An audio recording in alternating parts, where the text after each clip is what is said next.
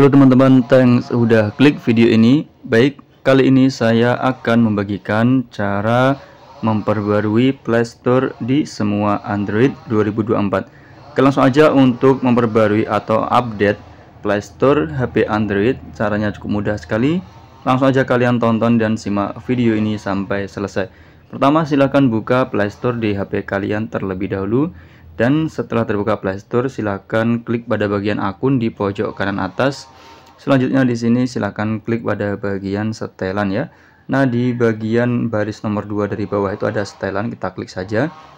Kemudian setelah masuk ke setelan di sini kalian klik di bagian paling bawah yaitu tentang. Nah tentang ini. Kemudian di scroll ke atas maka akan muncul tulisan kecil warna biru update Playstore nah kalau sudah ketemu tulisan biru update Playstore ini silahkan diklik saja Nah, pasti tulisannya akan seperti ini ya, versi Google Play Store sudah yang terbaru. Nah, di sini kita tekan OK.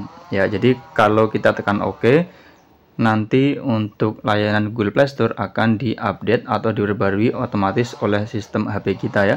Jika memang Play Store kita belum diupdate, setelah kita klik OK tadi, maka kita tinggal menunggu saja dan biarkan sistem mengupdate aplikasi Playstore di HP kita. Oke teman-teman sekian dulu untuk videonya. Mudah-mudahan bermanfaat. Terima kasih sudah menonton dan sampai jumpa di video saya selanjutnya